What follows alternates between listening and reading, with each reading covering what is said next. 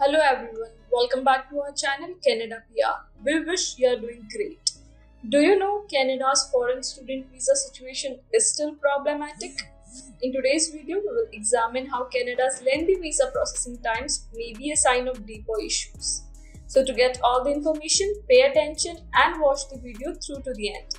Please hit the like, subscribe and don't forget to push the notification bell for upcoming episodes. So without any further delay, let's jump into the video.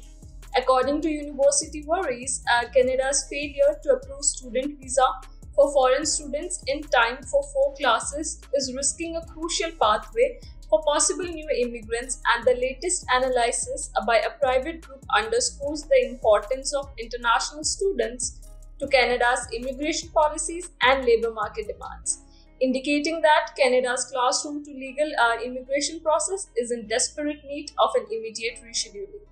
Well, Canada has benefited from border restrictions brought on by the epidemic in its rival nations and from political situations viewed as unfavorable uh, to immigration. These policies encourage students to hunt for jobs and become permanent citizens following their education.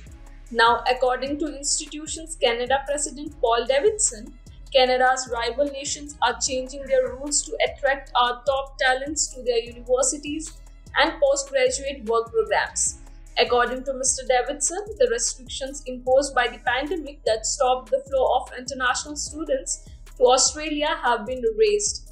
He also noted that the UK is overcoming its Brexit related problems with postgraduate work policies that are similar to Canada's.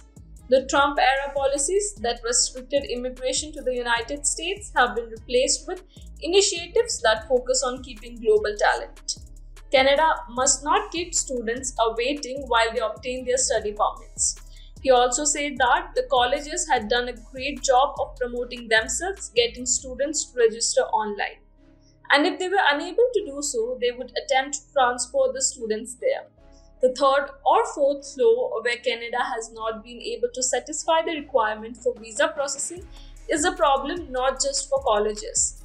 Sean Fraser, uh, despite acknowledging that some students would have to wait a long time for the Canadian government, the Minister of Immigration said that his agency had given processing of overseas study permits priority. According to the IRCC, a large portion of the issue is that there are thousands of students who are in the same situation.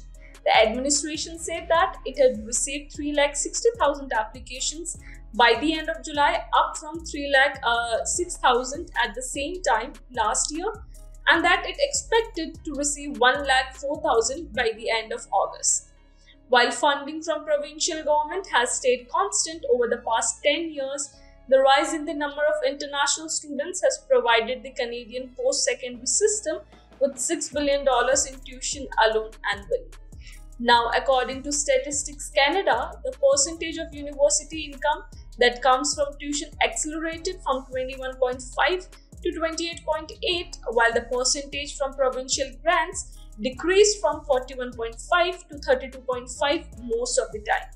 For instance, according to the University of British Columbia's budget papers for 2022, overseas fees generated more than $545 million in revenue between 2020 and 2021. Now, according to a 2021 report from Ontario's Auditor General, uh, well, uh, in Ontario's college system, international students make up around 30% of the students and generate 68% of the tuition income, as opposed to $375 million from local students, according to a 2021 report from the Auditor General of Ontario. Canada, according to the study, must change its policies uh, to maintain its leadership as the competition to attract talent around the world intensifies. Because of the country's present dearth of healthcare professionals, Canada should be more strategic in growing its overseas uh, student population. More than uh, 1,57,000 former overseas students moved to permanent resident status in 2021, a sign of the greater importance of foreign education to Canada's immigration preparation.